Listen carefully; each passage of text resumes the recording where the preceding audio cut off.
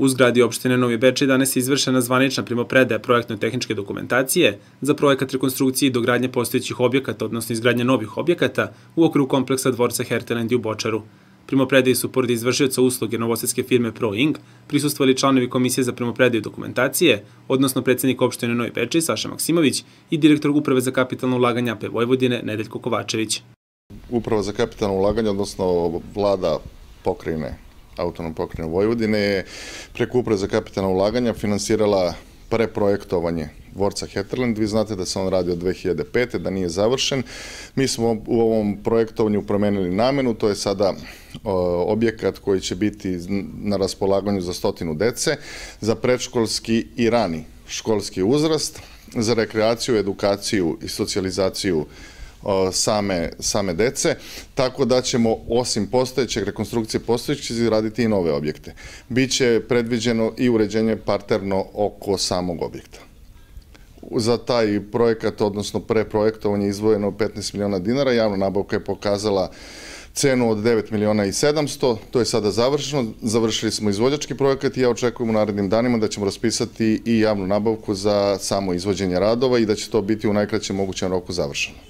Predsednik opštine Novi Pečej, Saša Maksimović, zahvalio se ovom prilikom Nedeljku Kovačeviću istakavši da on osvedočeni prijatelj opštine Novi Pečej, što je pokazao u više navrata. On je istakao da je projektovna vrednost radova na dvorcu Herteland oko 360 miliona dinara, no tačnu vrednost će ipak pokazati javna nabavka, kaže Maksimović ono što je ključ, dakle, ne samo što će biti rekonstruisan dvorac Heterle, nego što će naselje mesto Bočar dati neki novi život. Dakle, ne predajemo se, ne popuštamo, nijedno selo ne otpisujemo, svakom u, u, u narednom periodu, u narednih dve do tri godine, u svakom naseljenom mestu ćemo imati jedan ne takav objekat, ali objekat koji će dati neki novi zamah, neki novi zamajac, neki novi život e, svakom naseljenom mestu. Dakle, radi se i o Bočaru, i o Kumanu, i o Novom Milošu, a pogotovo naravno o Novom Bečiju ovo je ono što će biti zamajac e, ne samo Bočaru, nego čak, verovali ne, ovo će uticati dosta i na grad Kikindu, e, sam Heterland, a pogotovo na Novi Bečej.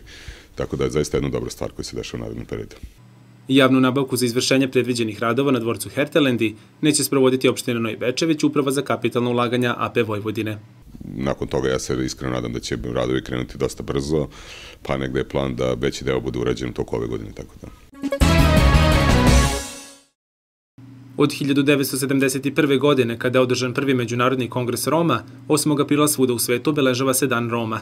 Od tog trenutka romskom himnom je proglašena pesma Đelem Đelem, dok je za romsku zastavu izabrana ona plavo-zelene boje sa crvenim točkom u sredini kao simbolom napretka i pokreta, ali i migracije Roma tokom istorije. O romskoj nacionalnoj manjini i problemima sa kojima se suočavaju, popričali smo sa aktivistkinjom udruženja Romanovi Beče, Vesnom Ćerimović. Prema njenim rečima, iako je poslednjih godina mnogo toga učinjeno na poboljšanju položaja Roma, oni su još uvek najdiskriminisanija društvena grupa u Evropi. Svetski dan Roma se obeležava u stvari sa ciljem da se ukaže na problem Roma, koji su najveća etnička manjina u Evropi. Što se tiče istorije Roma, e, ona je uglavnom nepoznata za šire društvo i mnogi smatraju da je to narod koji nema svoju istoriju i tradiciju. Možda je to jedan od suštinskih problema što e, Rome, drugi većinski narod sa kojima ima, imaju suživot, ne prihvata u dovoljnoj meri u svojoj sredini ali međutim Romi imaju svoju istoriju, jezik, kulturu i običaje. Romi su tradicionalno nomadski narod poreklom iz severozapadne Indije, a romski jezik pripada indo-iranskoj jezičkoj porodici. Romi spadaju u veoma muzikalne narode, pa se mnogi profesionalno bave muzikom. Prema dostupnim podacima, migracija Roma najverovatnije potiče iz Azije još u 13. veku.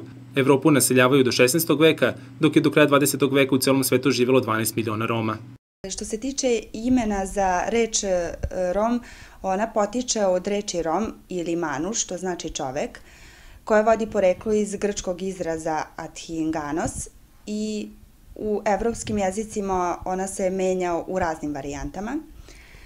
E, Romi su narod bez domovine i vlastite političke organizacije, međusobno su veoma složni i nikada nisu vodili ni jedan osvajački rat. Što se tiče romske porodice, ona je patrijarhalna, a može biti i matrijarhalna. E, njima je karakteristično da se u braku, da u braku ulaze veoma mladi sa nekih 12, 13, 14 godina. E, kada je religija u pitanju, oni uglavnom prihvataju veru zemalja u kojoj žive ali takođe očuvano i verovanje da oni veruju u dobre i zle duhove, kao i uroke. Prema popisu stanovništva iz 2011. godine u Srbiji živi oko 148.000 Roma. Ipak, prema podacima nevladinih organizacija, smatra se da ih je mnogo više, jer u Srbiji ima oko 600 divljih naselja u kojima živi stanovništvo romske nacionalnosti. U Novom Bečiju prema popisu upisano je 1295 Roma koji žive u šest romskih naselja, ali su integrisani i u lokalnoj zajednici, objašnjava Vesna Ćerimović. Što se tiče obrazovanja romske dece, oni uglavnom polaze u osnovnu školu, ali izvestan broj je napušta zbog lošeg uspeha ili siromaštva ili zbog odlaska roditelja u inostranstvo.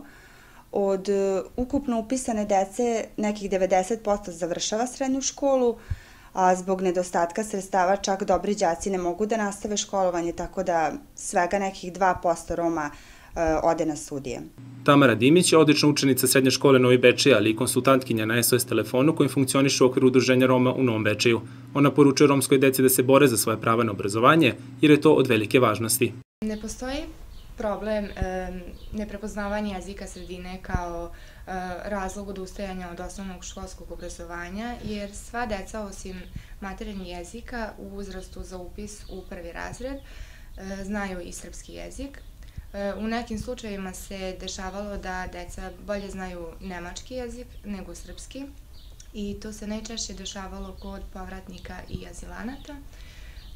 Deca se redovno upisuju u školu i nakon dva meseca pohađanja prestanu da idu u školu jer ih e, roditelji odvode u azil u inostranstvo i tamo provode vreme do aprila meseca sledeće godine i tada ih roditelji vraćaju u sistem obrazovanja.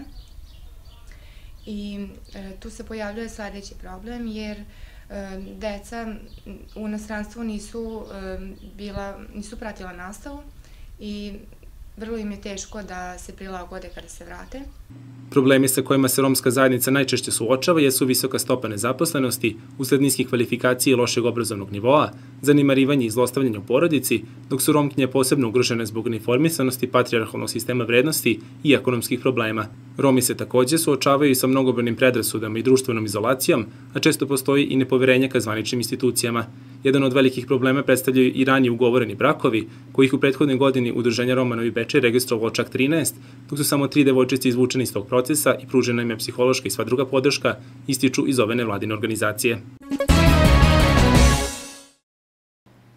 Tradicionalne sportsko-rekreativne igre regija pod nazivom Srem Banat Bačka održat će se po 11. put u subotu 13. aprila u Novom Bečeju. Ovaj sportski susret organizuje Udruženje Sport za svetinski cvet Novi Bečej u cilju druženja i razvijanja većeg interesovanja za još veći broj takmičara na 12. radničkoj sportskoj olimpijadi koja nas očekuje.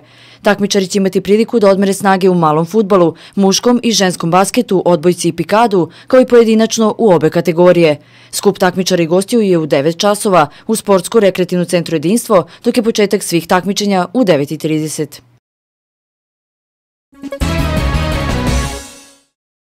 Zbog planiranih radova na električnoj mreži u ponedeljak 15. aprila u periodu od 11 do 12 časova biće isključena kompletna naseljena mesta Bočar, Novo Miloševo i Novi Bečej.